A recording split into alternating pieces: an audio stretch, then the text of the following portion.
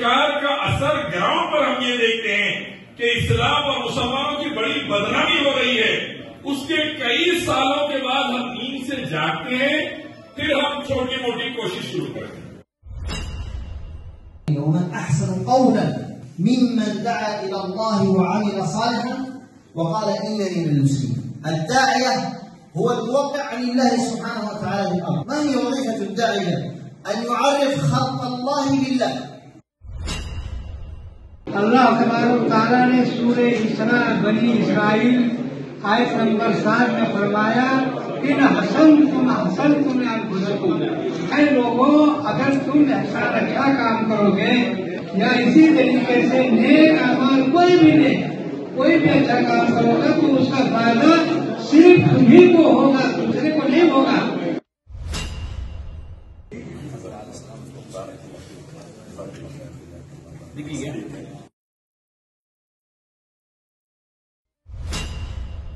هو بشر وقلبه بشر وبين الحين والآخر يضعف هذا البشر. فيحتاج إلى مثل هذه المحفزات ليتقوى بها ولتكون له زاد في طريقه في سبيل الدعوة إلى الله سبحانه وتعالى.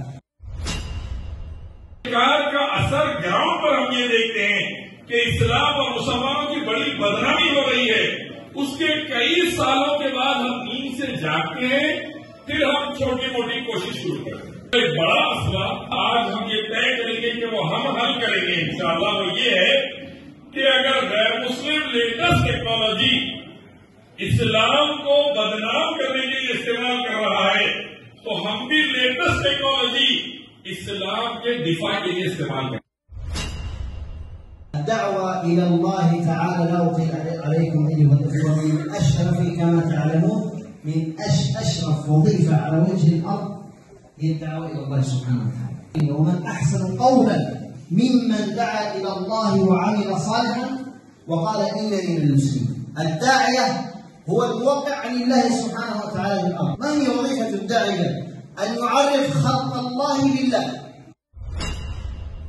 إسلام کا دشمن اللہ کے دین کے بارے میں غلط سٹوریز پھیلا رہا ہے فیک سٹوریز پھیلا رہا ہے، تو ہم اسلام کی صحیح اور سچی باتیں انشاءاللہ سارے عالم میں پھیلانے کے لیے اس سے زیادہ محنت کریں گے، اس سے زیادہ خرچ کریں گے، اس سے زیادہ جان لگا دیں گے۔